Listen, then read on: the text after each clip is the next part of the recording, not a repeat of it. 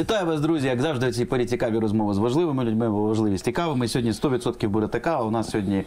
От е, гість, от із цієї когорти, яких я дуже люблю, знаєте, які приходять час від часу, там через певний відтинок часу, і з якими дуже цікаво в динаміці досліджувати всі ті процеси, які відбуваються в нашому житті. Ну а ця людина, він якраз знаєте, дуже цікавий тим, що він, напевно, як ніхто вміє помічати якісь такі, знаєте, мікролюдські історії, я би сказав. Це дуже, до речі, велика майстерність, талановитість, тому що багато більшість людей проходять повз і не помічають ці речі. А от він помічає. Е, і потім ще це і може дуже круто виразити в своїх книжках, в своїх там іншій творчості, які теж дуже багато різні, музичні, і театральні, і в будь-якій. Ем, ж кажу, це, така людина оркестр, насправді, яка в своєму житті, напевно, перезаймалась чи не всіма творчими професіями, які тільки можна придумати. Все це про пана Руслана Горового. Вітаю, пане Руслане. Привіт, дякую, що запросив.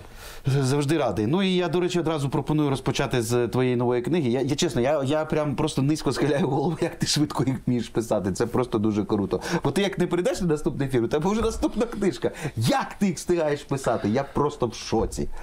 Ну, реально, скільки ти сторінок в день пишеш? Поняття не маю. Ну як ти так встигаєш? Е, Воно так не працює. Воно так не працює. Всі мої книжки, е, вони всі фактично народжені в телефоні. У мене немає комп'ютера, Ти який ще скажеш, що ти їх в телефоні набираєш. в телефоні набираю. Йо. Тому що е, вся, вся, е, всі мої книжки це побочка мого, мого життя. Це не є, знаєш, це моя рефлексія. Коли в мене голова чимось переповнилася, я маю це виписати, викинути з голови, бо інакше воно не дає мені жити. Так книжки і з'являються. Саме тому, можливо, е, це все-таки більше оповідання. І трошки повістей, невеликі форми, тому що я не можу сісти і щось запланувати. Я так не пишу. У мене є якісь емоції, які переповнили мою голову, го- голову, голова предмет темний, воно має записатися. Я достав Ти в телефоні його наклацуєш, от цей текст? Так. Йо-моє, це просто. Всі книжки, всі мої книжки були написані в телефоні. Ну, можливо, там перші якісь оповідання а, на початку нульових були на комп'ютері, бо просто не було можливості в телефоні набирати.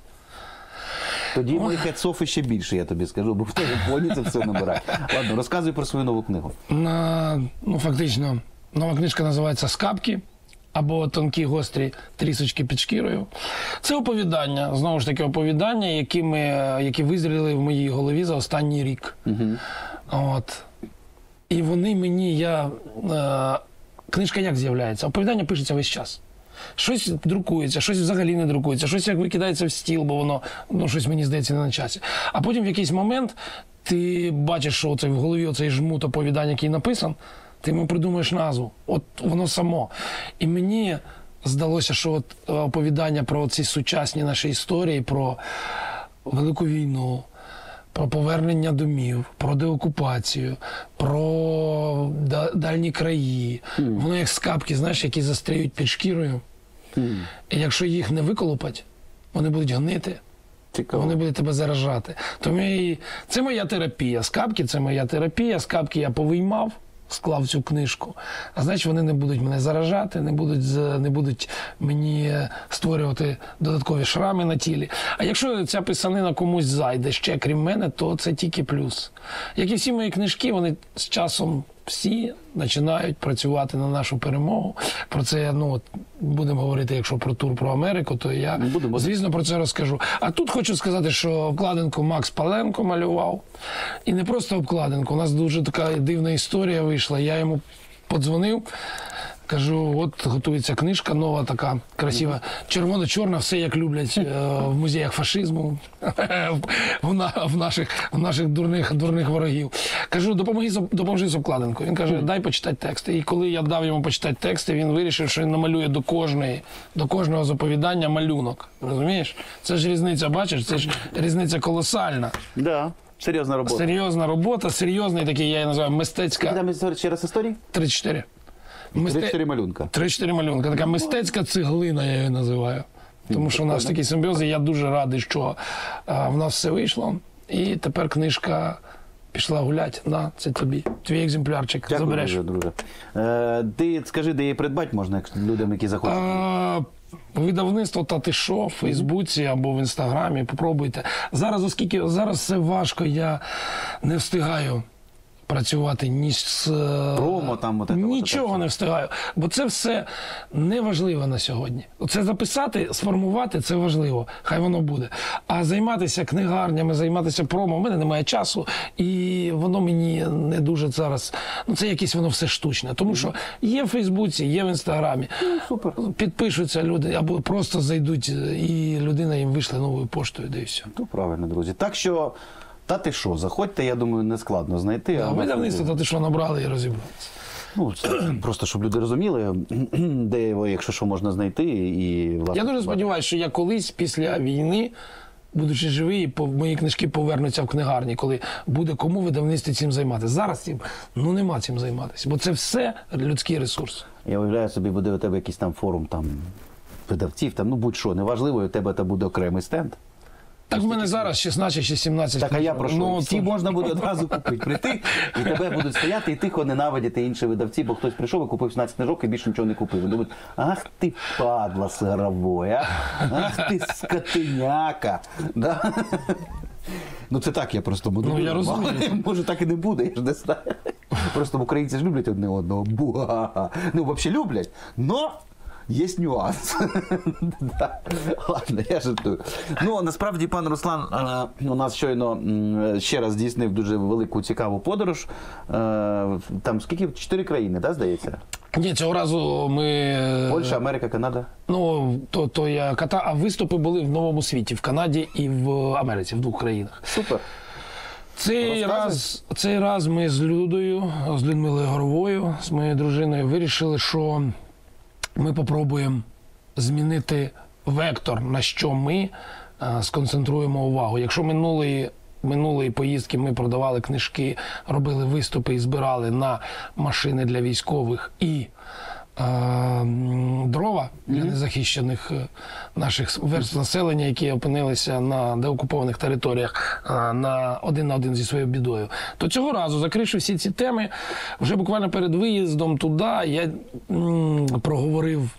З кумом, зокрема, з моїм е, Володією Регешою Сантою, про таку потребу, яку всі знають, але важко на неї дістати гроші. Це про ремонт автомобілів, які вже напередку, які вже зазнали якісь уражень або просто поламалися, тому що техніка купується зазвичай не нова, і в умовах війни вона, коли ламається, то вона просто накопичується гора металобрухту, умовно кажучи. Ну, звичайно. От, а одна річ, коли ти збираєш на машину, відчитуєшся, дивіться, ось машина стоїть ззаді, це все видно, це все гарно. А коли ти просто ремонтуєш, то для людей це не дуже зрозуміло. Тут ремонтували топливний топливну систему, там коробку передач поміняли. Що це таке? Як це там для автомобілістів? Це якісь ще зрозуміли речі. Да? Там раму поварили, там ляду переробили, там машина перекинулась, ми її ну, виріхтували. Для людей це не зрозуміло. І ми з Людою вирішили, що ми попробуємо накопичити ресурс десь на 10 машин, щоб ми могли 10 автівок хоча б поремонтувати з різних підрозділів. Приблизно ми знаємо цінник, приблизний. І ще допомогти тут одній школі на Київщині, в селі Кухарі, вона була повністю розбита. Але один фонд там відновив е, вікна, другий зробив кришу. Але лишилися дрібні. Умовно дрібні речі, які не дуже цікавлять великі фонди. Ну і це дуже важко якось пояснити. Але ми з цією школою давно дружимо. Я маю на увазі на циганський табір. Ми заходили туди. Ми, ну, ми знаємо всю, всю цю ету саму історію, і ми вирішили там трошки їм ще допомогти. е, Там ролети на деякі вікна в класи купити, де ж якісь начиння для кабінетів. Ну, коротше, отаке. І з цією, цією світлою думкою я рванув. Я рванув за океан. І ми там робили виступи і продавали книжки. У нас дуже відмінна від. е, Ми не ходимо клянчити гроші. Ми розуміємо, що всі, хто ходить на будь-які проукраїнські акції, на будь-які проукраїнські зустрічі. Вони їм не треба нічого пояснювати, вони і так донатять. Це правда. Вони кожен з цих людей донатить. Але якщо там вони ходять на артистів, вони мають заплатити якийсь квиток. Ну, Ну, да. тому що є оренда, є ще ну, не, Звичайно, не, да. не погані артисти. Не в тому, що артисти погані і хочуть заробити, а от не просто безкоштовних заходів не так і багато Ну. Да. насправді. І ми вирішили для себе, що ми робимо безкоштовні заходи, а книжку, яку вони купують, вони хай сприймають в виді доната.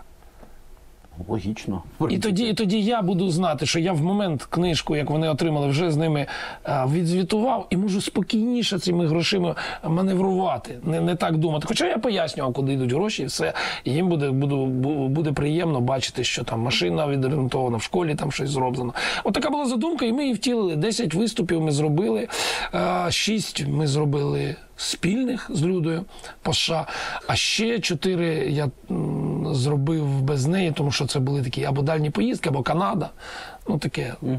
Ну, покаталися е, досить серйозно, і ось я повернувся. І зараз вже чотири машини загнані на СТО в різних підрозділах. І будемо, будемо, будемо це робити. От я хотів тебе спитати, ти коли останній раз був в е, новому світі? Здається, там? Перед цим, Да, в вересні, в вересні. Ну тобто зовсім недавно по великому ну, рахунку. чотири місяці чи що. Що змінилося? От по відчуттях. Бо, ну, вибач, я навіть не про політичну ситуацію, бо це не до тебе питання, це хай відповідають ті, хто з сенаторами конгресменами спілкується. Ну, я маю на увазі, от в плані атмосфери. Ну, точно Україна пішла з перших позицій по новинам. Це точно, 100%. Тому що Вибори. Тому що вибори, тому що люди живуть своїми проблемами. Це правда. В будь-якій країні, не тільки в США, ну є купа, купа всього, які впливають на ситуацію в цілому. Да? Там є тайфуни, цунамі, плюс іще да, є там ситуація з сусідніми країнами, є вибори, зрештою. Конечно. І да, ситуація уходить з перших шпальт, якщо вона не є ну, не цікавить політиків, наприклад, це ну в, так- в якомусь контексті, які за неї чіпляються, і все інше. І для мене взагалі така дуже цікава думка спадала, що навіть при тому всьому, що Україна пішла з перших позицій по всіх там, е, і про неї дуже рідко згадують. Прапорів українських багато, і не лише в українців. Там, де я був, принаймні. І друге, що люди ще в цей самий час, я маю на увазі не українців, які туди приїхали або там жили, а американців, які ще й донатять в різні фонди, так чи інакше, які е, спілкуються з Україною. Це дуже дивна штука, насправді. Дуже дивна, як на мене, тому що.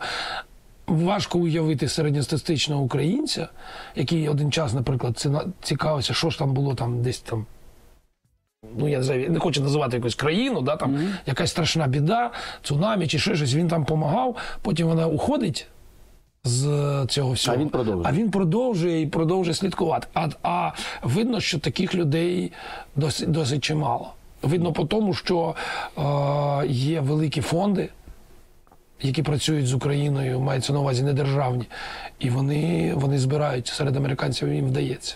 Ну і знову ж таки, я прино... я цього разу був там е, зі своєю книжкою, яка англомовна і україномовна, і її дуже хорошо брали на подарунки, на якісь такі речі для своїх англо- англомовних е, друзів, щоб підтримати цю зацікавленість. Ну так. Ну от знову ж таки, я тебе і тоді в вересні питав, і зараз перепитаю. Якщо брати контингент, хто в основному ходив на твої імпрези?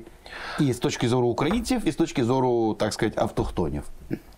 Ну, з українцями все зрозуміло. З українцями все зрозуміло. Це ходили люди, яких не треба ні в чому переконувати. Це які люди, які навіть поїхавши з України в різний час. З різною метою. Хтось е, поїхав свідомо колись давно, не хочучи жити там в країні, яку очолив там Янукович чи ще щось. Хтось іще раніше, хтось виїжджав з Радянського Союзу. Да? А ті, що зараз? А хтось, хтось поїхав, втікав, втікав. І от зараз такі від- теж були, які після 24-го Так, так, виїхали. їх там ну, зараз багато стало. А, громади збільшились за рахунок цієї хвилі. Так от, із тих, хто зараз, ті, хто понятно, що вони були, вони теж діляться на деякі. е, Ті. Одні приїхали і нікуди не лізуть, намагаються асимілюватися, скориставшись моментом, умовно кажучи. Я нікого не засуджую, кожен приймає своє рішення. Скористались моментом і там намагаються. А інші приїхали і вони весь час мріють потрапити додому. Ага, і такі теж є. Таких дуже багато. Таких дуже багато. Та ти думаєш, вони реально повернуться, якщо більш-менш устаканиться ситуація? Так. Моя сім'я повернеться. Ні, Моя, ну хорошо, моя сім'я теж тікала, а, Люда Ну, з це Білорусі. понятно, да. От, але там дуже багато таких, бо дуже багато таких людей. Хоча я ж кажу, у мене нема до такого а, враження, що всі ідеальні, всі хороші. Ну ні для кого не є секретом, що там в Канаді творилося, коли деякі люди, дізнавшись, що приїхавши по цій програмі, українці, приїхавши в цій програмі, ти отримаєш 3 тисячі доларів канадських. Ну, люди порахували дуже швидко, що квіток тисячу доларів туди злітати, а отримати можна три.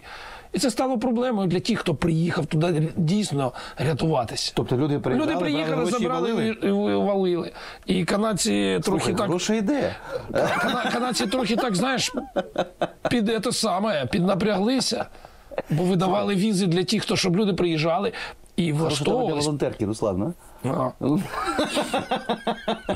Вибач, будь ласка, мій А, а, а, потім, а потім ті люди, які там на місці ну, мали е, так от і пояснювати, як я тобі, що ми не всі такі. Ну, да. І як ти можеш вплинути і не знаєш про це.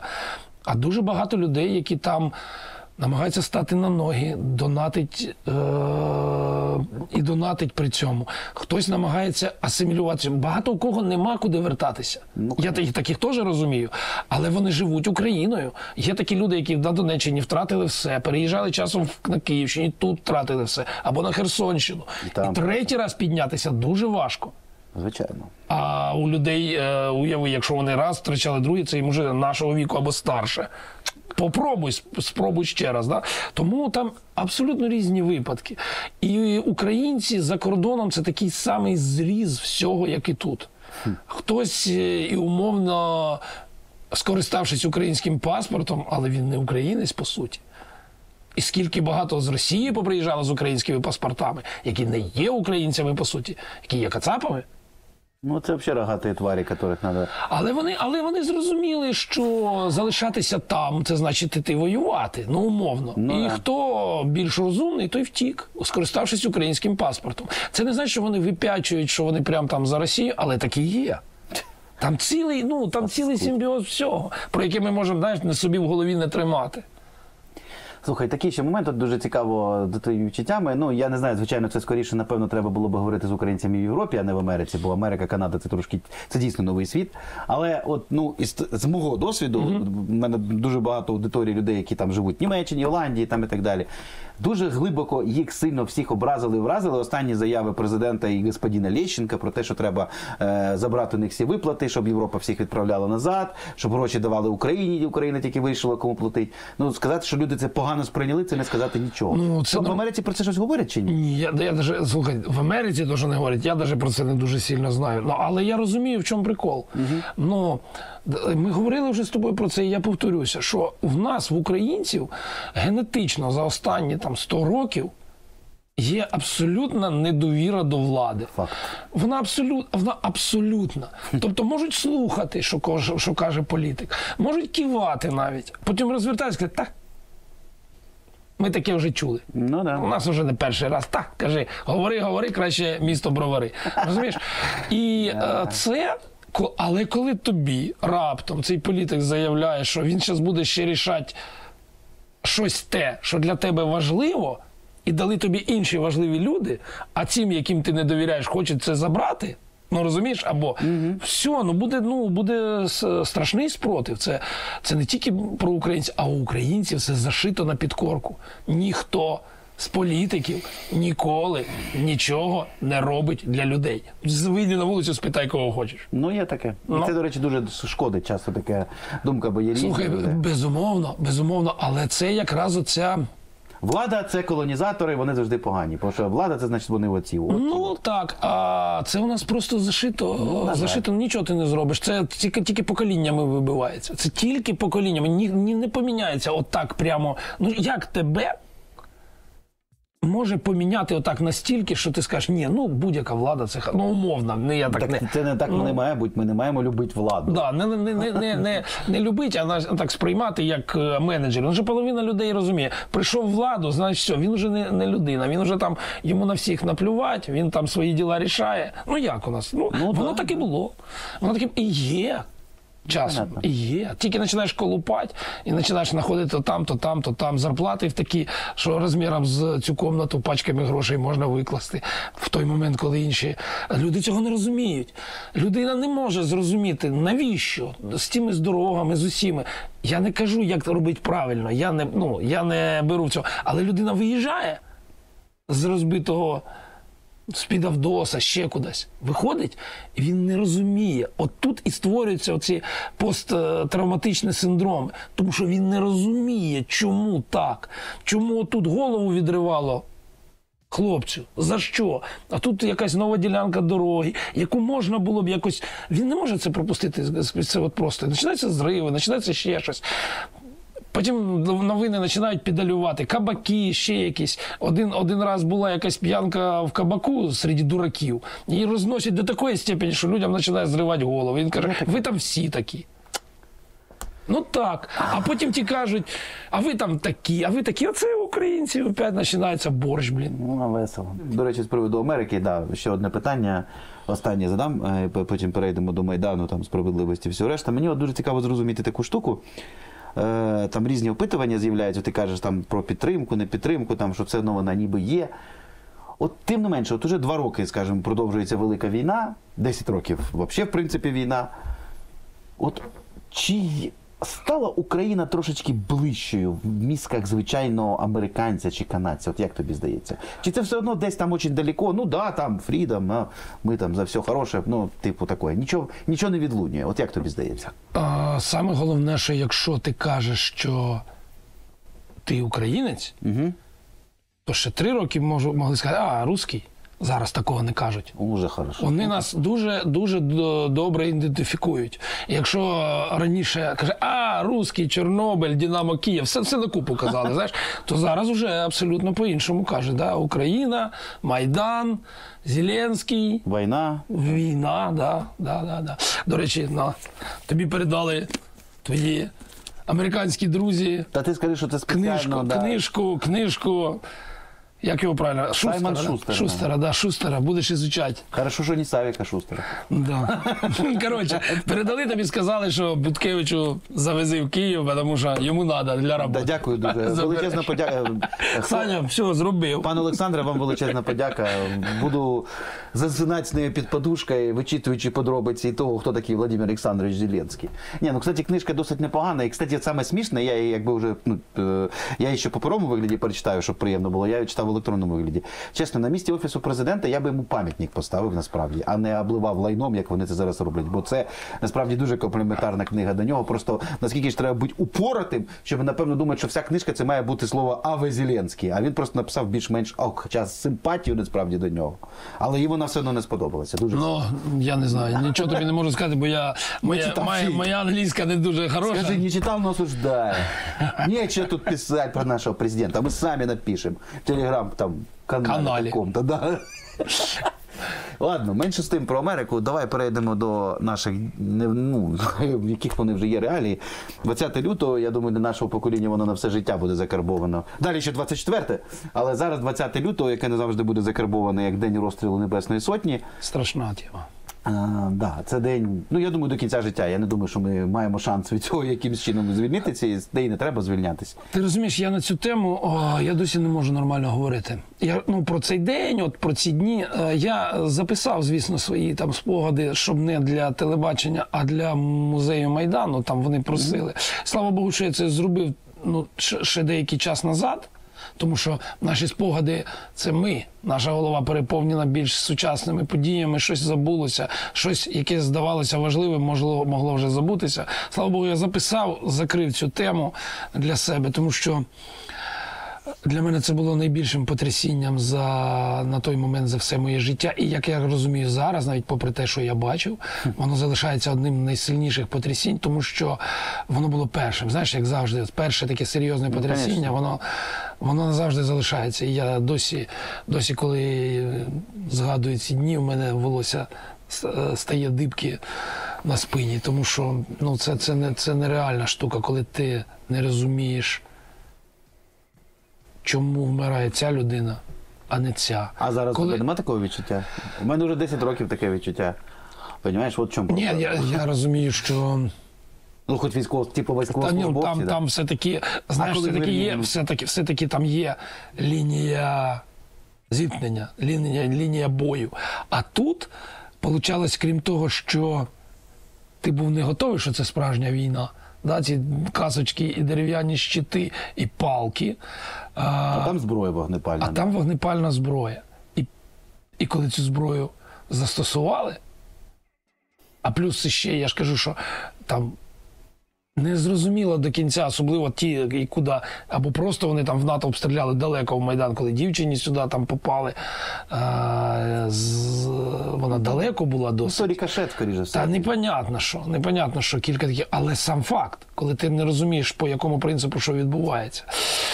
А да, воно закарбовується в пам'яті назавжди, і я досі не готовий так просто прям. Е, Якісь даже у мене нема даже спогадів нормальних про тому що є для мене це такий якийсь е, абсолютний, абсолютний прояв якогось такого зла.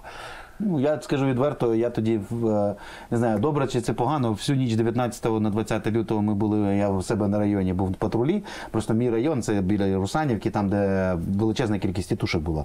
Да, Е, да. Це ж люди з моєї, так сказати, підрозділу ловили е, Топаз дає команду, розумієш? І ми до ранку їздили. І я пам'ятаю, я о 6 ранку приїхав додому. Думаю, так, десь на 10 поїду на Майдан, ліг спати. Ну. Ну, о 9.20 мене розбудили, і от я в ефірі це побачив, потім побіг на Майдан, але понятно. Я прийшов, вже все відбулося на той момент. Це не було не, не було на моїх очах, скажу. Ми переключали е, тоді е, п'ятий канал. Його виключили з мережі, Да, і, да. і ми переключали в себе на компанії, дали його в ефір. І я лишився на всякий случай на ніч, щоб не лишати нікого іншого на роботі. Ну. Мости потім вже ж були. І так я там прожив на роботі кілька днів. І теж, коли побачив в ефірі, я рванув.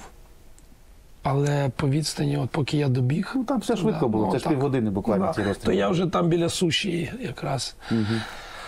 В общем таке. Ладно, ну тут Да. знаєш, спа- Спогади що- нема, не мають ніякого Так, сенсу. Яка різниця, які в мене спогади про цей день.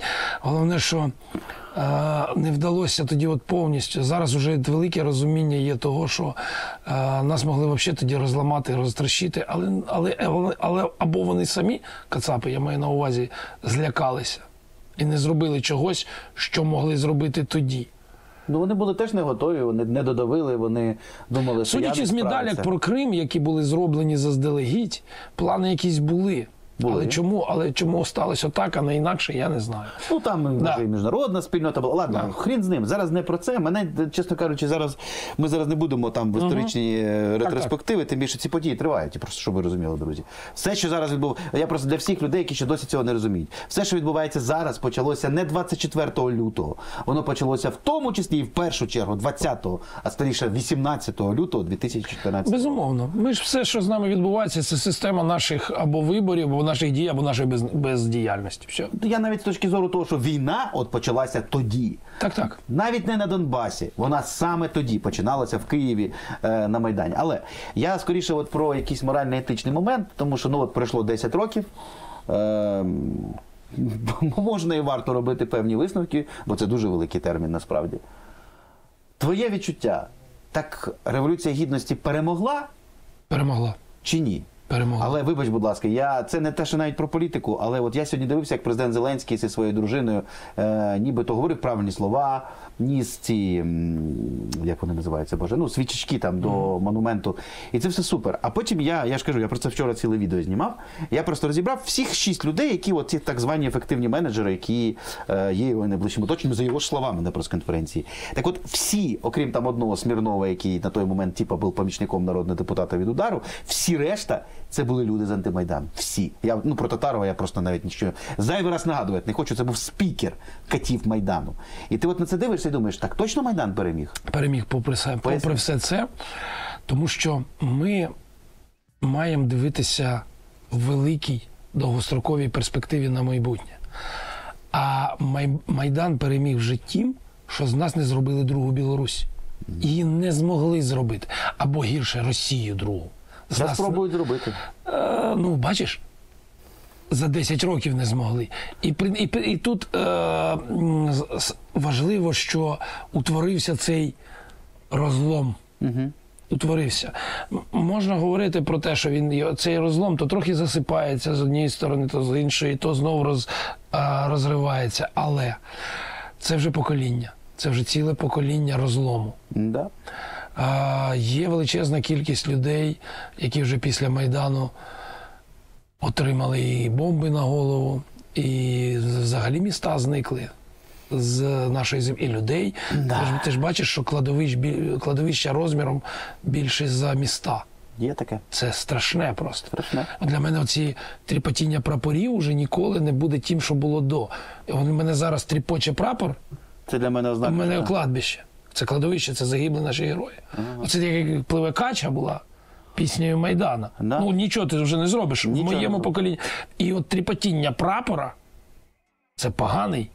Це значить, загинув хтось, загинув герой і загинув на війні. Більше того, загинув на війні. Так. Коли багато прапорів тріпотять, це, це, це просто страшне. Де б ти не був на Марсовому полі або там під Харковом, або Можна страшну річ скажу? От мені дуже не подобається те, як ми оформлюємо наші цвинтарі. Це не моє собаче діло говорити Ну родичам. так і не говори. То тут знаєш в чому проблема? А чому я тобі, я, я тобі поясню. Я тобі поясню. Я тобі Як поясню, в чому суворі білі могили за горизонт. Без от, ну зачем?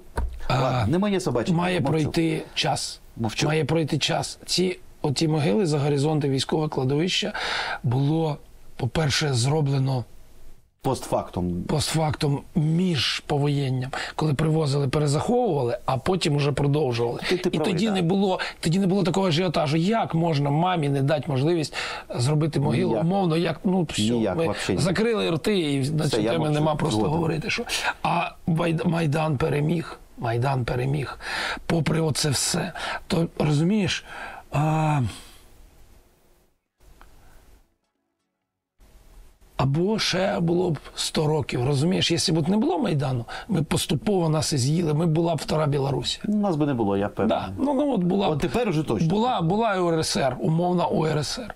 Я в житті не хотів жити зараз в Білорусі. Я уявити не можу, що я живу в Кацапії. Ти розумієш? А це могло статися. Тобто ментально, ментально Майдан відродив українців. Ціна заплачена, безумовно. Імперія ніколи не відпускає. Для мене було дивом. Дивом. 91 рік. Ні, не до перше, я ще не, не можу сказати, що я там соображав настільки, мені хотілося, але все-таки там 15 років мені було. Для мене було дивом, дивом, що не було війни в нас. Оце для мене було дивом і під час Україна без кучми, що не закрутилось в таку ету.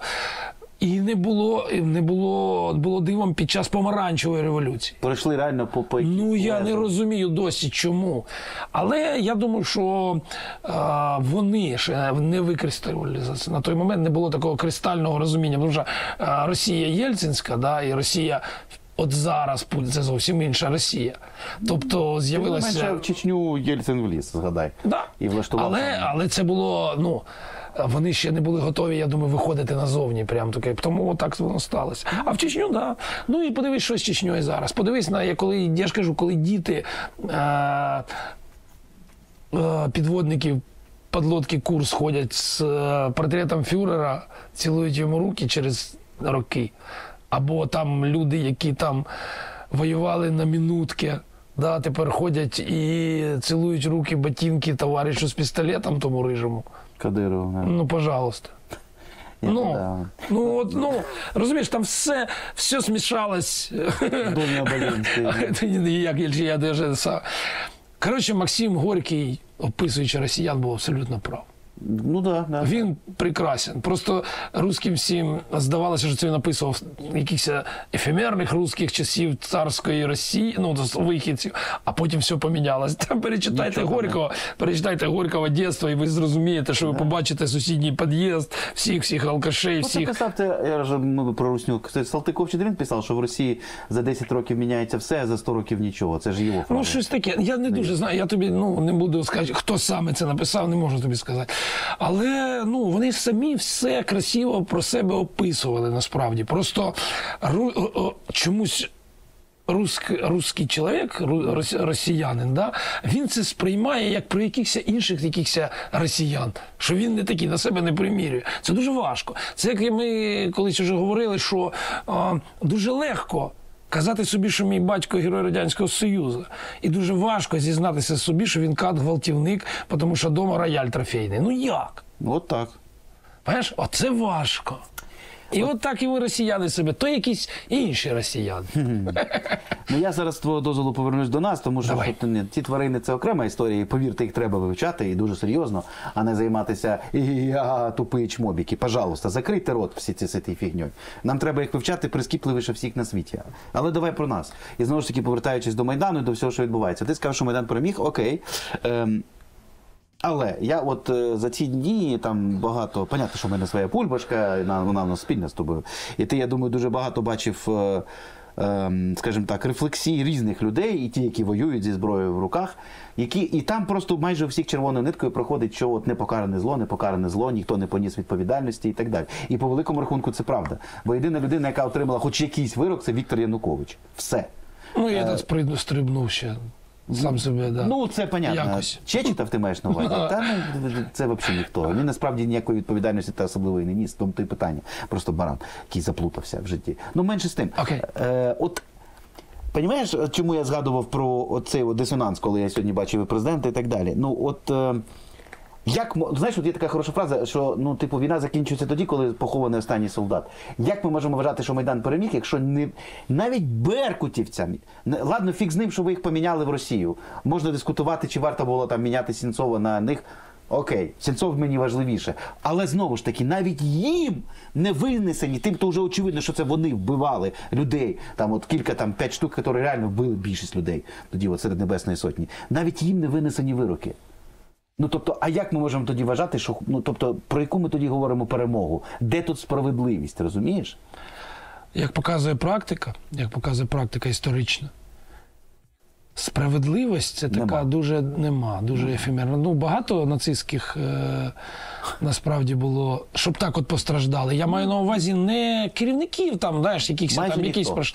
Ну, а ми беремо ще якісь відомі бренди, які з цими співпрацювали. Вони тільки збагатилися, за і їхні діти і живуть і собі нормально по всьому світу, які за рахунок нацизму і фашизму в Німеччині збагатилися і стали е, королями світу, і зараз управляють іншими індустріями. І інші люди нічого не знають, або не розуміють, або не хочуть знати. да. От і все. Тому це така дуже інтимна штука. Кожен має для себе вирішувати, що для нього справедливість, з чим він може жити, з чим не може миритися, а значить, тоді має щось робити. І це все поштовх, поштовх, поштовх. Ну а як? Просто розумієш, ну от як тобі пояснити? Е, З одного боку, опять же, я з тобою повністю згоден. Ну просто. А, умовно кажучи, от навіть прихід до влади свого часу Зеленського в 19-му році, не в останню чергу, це було. Не проговорене навіть проговорене бажання суспільства такі якоїсь справедливості і заміни тих старих, які не добилися. Ми ж от е, навіть ті, хто не виходив на майдан, я впевнений, було чимало людей було таке відчуття, що от ну нема ж справедливості. Ну от поміняти же все мало стати добре. Прийти, а вони не прийшли, то давайте вообще всіх поміняємо. Прийшли ці, і теж ніхто не покараний, і ще гірше стало. Я просто боюся, щоб це наново не привело на якісь майдани, тільки врахуванням, що у нас тут війна, ти розумієш, чим це може закінчитися. От, от, от чому я про ці справедливості копаюсь, розумієш? От я просто не зовсім розумію. Тут не, не знаю, як до тебе. Типа Майдан, вроді як його вже давно вже нема. А з іншого боку, коли ти бачиш оці відео як з Дніпра нещодавно, ти бачив це, те, відео, де ам, а ти напевно якраз в Америці був, там у нас тут скандал був, коли значить, рота а, Беркутов, по суті. І їх мали відправити служити там. Вони ж там по ротації в поліції їздять бригаду лють поліцейську, яка воює на фронті. І там от відео записали, коли до них приїхав, що характерно ем, забув прізвище, здається, Зозуля, який майданівець колишній, який зробив кар'єру в поліції. І як вони йому кричать: да пошов ти, та ти, май- ти, ти, ти там сраний майдановець, а ми Беркут, ми страну захищали. Це зараз, в 24-му році, ти розумієш? І я дивлюсь це відео і думаю, чого? І ти кажеш, Майдан переміг. В смислі? Тобто, о, розумієш про що я, Руслане? Я розумію, про що ти, але це знаєш, це все одно, що натягувати сову на глобус. Розумієш, є конкретний підрозділ, конкретні беркутовці, конкретна погана або хороша реакція на їх виступ, реакція влади і все інше. А ми з тобою говоримо про загальні поняття. Ну, от загальні поняття. А загальні поняття, я тобі кажу, це розлом і куди ми рухаємося. Тому що інакше так можна міряти, ну, чим. Ну, От я чим- не знаю. От ну, я не та, знаю, тому я, тебе я, питаю. я, міряю, я міряю тільки тим, куди ми рухаємося. От як тільки ми почнемо засипати цю яму і рухатися назад в СССР, або в Росію, або в Білорусь. От для мене це буде це смерть. Я не знаю. А я не знаю. А, Ну ти це можеш уявити? От Можу? Донбас, подивись, подивись Донецьк, подивися. От якщо вони прийдуть, то через місяць будуть старі пам'ятники, старі вулиці. Ще через три місяці будуть е, люди тихенько собі на кухнях просто говорити. Через рік вони змиряться, а через 10 років їхні діти будуть цілувати портрет Путіна. Все. Фініш. Ось тобі і все. Сценарій. Ну тобто це військова поразка, ти маєш на Да. увазі. Так. Або розділення якось е, територіально України, і тоді та територія буде завжди така, а ми така. От і все. Як по Збручу колись було. І таке може стати. Але ж як показала історія, по Збручу це ж не навсігда. Бач, вони ж все одно далі пішли. Ну бо. Ну тобі не здається, що нинішня Рашка, до речі, дуже добре зробила висновки з усіх помилок навіть радянської влади, і тепер вони викорінюють українське просто до, до, до... Вони точно це зрозуміли. Дуже погано, що ми не зрозуміли. ми Да. не ми, а якась кількість українців не зрозуміла. Нема проблеми в тому, що не всі люди щохвилини живуть війною. Все по-різному буває. Гірше тому, що є цілий прошарок людей, які взагалі кенселять все він- війни. Її нема для них. От її нема для них. От як це можливо? Ну як це? Я там не беру про навіть про чуваків, які там десь ховаються. Да? Он, я щось там дивився. Стоять якісь дівчата, а це ж теж українці, це ж наше майбутнє, це ж мами, це наш, ну, якийсь Ну, этот самий, да? да, да, Стоїть, а я не знаю, я це сам, я їду віддихати, а я це саме. От і все. Її нема війни. І для того там хлопця якогось щось це нема війни. Для когось вона є, для когось 24 години на добу, для когось там 10 годин на добу. Ну, якісь ці А для, а для великої частини її просто немає, не існує. Оце проблема. Тому що оці швидше за все переживуть всіх, як черв'яки. Як таргани. Ну, хорошо, хай буде як таргани. Як таргани, вони переживуть всіх і можуть стати в случаї окупації основою для нової України під Рашкою, яким абсолютно по барабану і Україна, і все. Вони так само. Ну, А що з ними робити? От останнє питання. От що з ними робити? робити? Тобто, окей, я навіть зараз не про політику, не про там комунікацію влади. Окей, це все ясно, це треш, провал і так далі. Але окей, менше з тим. Якщо ви знаєте таку людину, То що з нею робити? якщо ви знаєте таку людину, намагайтеся. От я не тобі там і собі. Якщо в ваше поле зору потрапляє така людина, а вам не все одно, яка буде Україна, докладіть максимум зусиль, щоб ця людина не кенсила війну. Хай вона всього лиш 5 хвилин на добу спочатку буде, але буде жити з війною в голові. Хай вона про те саме мріє, але з розумінням, що є війна. Зробіть це. Це буде маленький вклад, ваше чаріті в наш оцей розлом, який не дасть, не дасть зімкнутися їм. В мене я намагаюся весь час виходити за цю бульбашку свою не в Фейсбуці, не в Твіттері, а в реальному житті. І говорити з такими людьми. Говорити при найменшій нагоді. Колись це вдається, колись не вдається, колись людина погано реагує, колись людина щось включається. Але я роблю це постійно. Я постійно це говорю. Ці замальовки мої там частина в Фейсбуці, коли я там розказую, що там в Києві дехто говорив. Це. Це моє, моє спілкування. але Я, цим, я цьому приділяю частину життя. Тому що в інший спосіб достукатися до людини неможливо. Це має бути щось, що включить рубільник. І ви можете бути чим щось, але робіть щось. Не просто, а що з ними робити? Давайте їх там. Ні. Це ваша зона відповідальності, бо ви свідомий. Ви ж з дітьми. Намагаєтеся, е, ну сподіваюся, що ви не, не, не працюєте з дітьми так, що я дорослий, а ти говне мале закрий рота і по сраці дав. Ну тоді так і виходить. Якщо ви з дитиною маєте її вчити і вкладатися в неї, ну треба вкладатися і в своїх співгромадян, на мій погляд. Та я з тобою згоден. Ти я теж саме постійно глядачам кажу, що якщо ви бачите інертну людину, тра-та-та, пояснюєте, говорите. Пробуйте зачепити, пробуйте зіграти на чомусь, пробуйте пояснити. У нас у всіх є враз... ми всі вразливі. І треба знайти там, де можна цю вразливість перетворити на щось хороше. Знову виходить, що українці сильні тільки горизонтальними зв'язками. Як тільки мова доходить до державної політики, там у нас швах. Ну слухай, ми ж почали з того, що Так, українець не довіряє е, державі як інституції, в принципі. І це Ці- дуже погано, це дуже погано насправді. це дуже погано, але А може добре, отак. Але поки що отак. Ну, 100%. Ну, така у нас розмова сьогодні вийшла, друзі. Я ж кажу, ми завжди з Русланом якось у нас от, от, от розмова, як знаєте, як потік, е, який так біжить між е, снігу і китани. От куди він поверне, хрін його зна. Але кудись дуже цікаве поверне русло, це точно.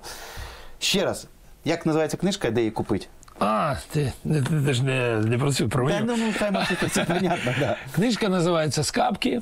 Е, Автор Руслан Горовий. Гугліть, воно все видає. Видавництво, та ти що, попробуйте погугліть. Можна в інстаграмі, можна в Фейсбуці, можна її купити. Знову ж таки, я час від часу катаюся з зустрічами по Україні, і тоді, тоді, тоді привожу цю книжку, зокрема і цю.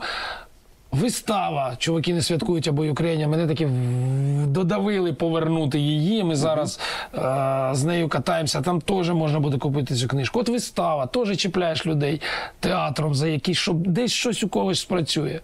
Ну так, от намагаюся. Я, наприклад, знаю, що от моє завдання на цій землі українізу- українізувати українців.